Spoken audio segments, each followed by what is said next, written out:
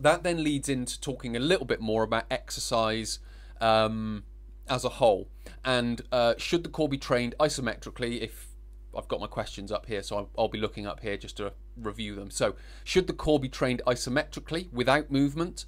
or dynamically with movement. So isometric exercises are static exercises. An isometric exercise you would have possibly done before, a plank, a side plank, a bridge, something to that effect. So should we be doing it isometrically or statically or should we be doing it dynamically? We should be doing both.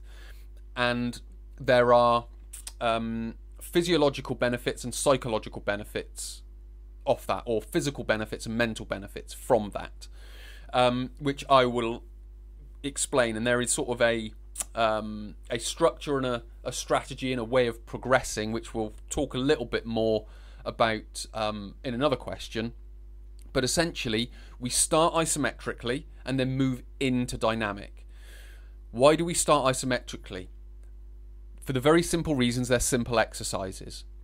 Why do we want to do simple exercises?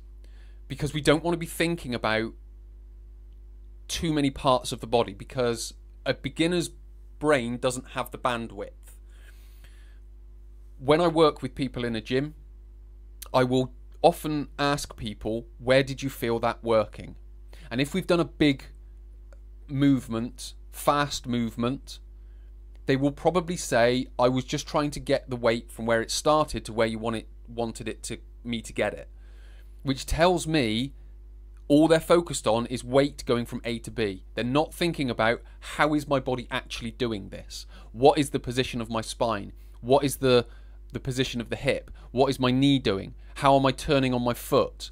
What are my shoulders doing through that? How are my hands on the handle or whatever? They're not thinking about all of that. They're just thinking weight A up into B. And how that gets there, as long as the weight gets there, I'm good. Now, if we start with isometric exercises, very simple exercises, takes a little bit of bandwidth, not a lot of mental processing to think, okay, this muscle's working and I can feel it there. Everything else is completely static. As we then move up, we would then add bits of movement into that. Okay, we might move a limb. Okay, so I can think, okay, my I can feel my torso muscles working, and as I move my limb, I can focus on just moving the limb and not my spine. So we've got that element to it. Then, once we've got one limb moving, let's move two limbs. Then we might move to three limbs and four limbs. So what you're doing there is not only you building it the physical capacity, but you're also building the mental capacity. And what I also find is even advanced people, where they have the physical capacity to do it, they don't necessarily have the mental capacity to do it. Because again, I can ask them, where did you feel that working? It's like, don't know. I was just getting the heaviest weight possible from A up into B. And again, where that will look impressive on the outside, it's not necessarily impressive on the inside, if that makes sense, because the mental processing of how it gets there isn't very fine tuned. They're just looking at the result and not the process, whereas we want the process and the result. So, should you train isometrically with uh, without movement and dynamically with it, it's both but it's more advantageous to start isometrically, build the physical and mental capacity, and then make it more dynamic where you require more physical and mental capacity, and then that will grow as well.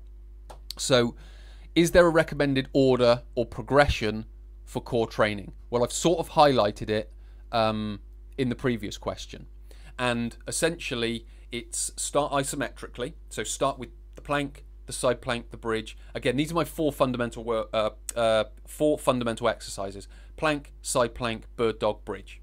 They're the four ones. If someone comes to see me and they've got no experience in the gym, I will start them doing those four exercises. Yes, there will be more, but essentially I want those four exercises. And the reason I want those four exercises is because I want them to feel all the different areas of the core working.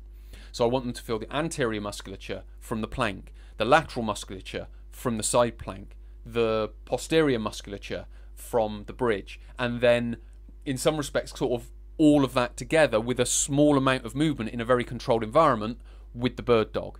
So we start with these very simple exercises. Yes, we can add, depending on the goals of the person, presses, pulls, lower body exercises, lunges, all these different types. Yes, we can add those. But what I want to get from them first is is your core working and can you tell that your core is working? So we want to build that first. Then we want to start adding greater strength, endurance, and stability into that. So, for example, in a plank, I will get people to then start lifting one arm from the floor. And in a side plank, one leg from the floor. And in a bridge, again, one leg from the floor. The reason I want that is because I want um, them to maintain position of the hips, which shows good stability. Once I've got them to that point, it's then starting to wrap in certain movements. So chopping movements from high to low, chopping movements from low to high. Then we can start to bring in um, speed type exercises. So again, it can be sort of throwing of a medicine ball, again from low to high, from just horizontal, parallel to the floor, or low to high, whatever it may be. But again, we build that in layers. So we start isometrically, then we start adding movement in, then we start adding speed with that movement. Because what we're trying to do is train everything that I've talked about so far. If you think back to the function of the core, we're trying to not only build the um, the capacity of the muscles to contract, but also to tune the um, the timing of the core. So when they throw, are they engaging the core at the right time, at the start of the movement? Are they then slowing the weight down and stopping the movement? So again, you can sort of understand that there's different parts to this um, this movement where we've got to accelerate and decelerate and then re-accelerate exercises. So we're trying to build all of that, but that doesn't come to the later stages. We wouldn't do that nearer the beginning. That would come later on. So we have to understand all these different things um, to be able to um, to sort of build someone's core because I'm not trying to build someone's core strengths, core stability, core endurance. I'm trying to build it all because I want a good quality core when it's exercising because then it protects the spine as best as it can be protected. So, do you need direct core training? Um, with regards to direct core training of planks, side planks, bridges, so isometric exercises, yes. When it comes to sit ups, crunches, back extensions, um, side bends, Russian twists, all these different things, no. And the reason for that goes back to what's the function of the core is to prevent movement. So if we're using exercises that produce movement of the core, then essentially they are null and void because they're kind of going against what the core is designed to do. And even in, remember, we go back to that sporting movement where the spine can flex, it can rotate, we aren't producing the movement at the spine, we're producing the movement at the hips and the shoulders. So even then, we don't need the abdominals to flex the spine.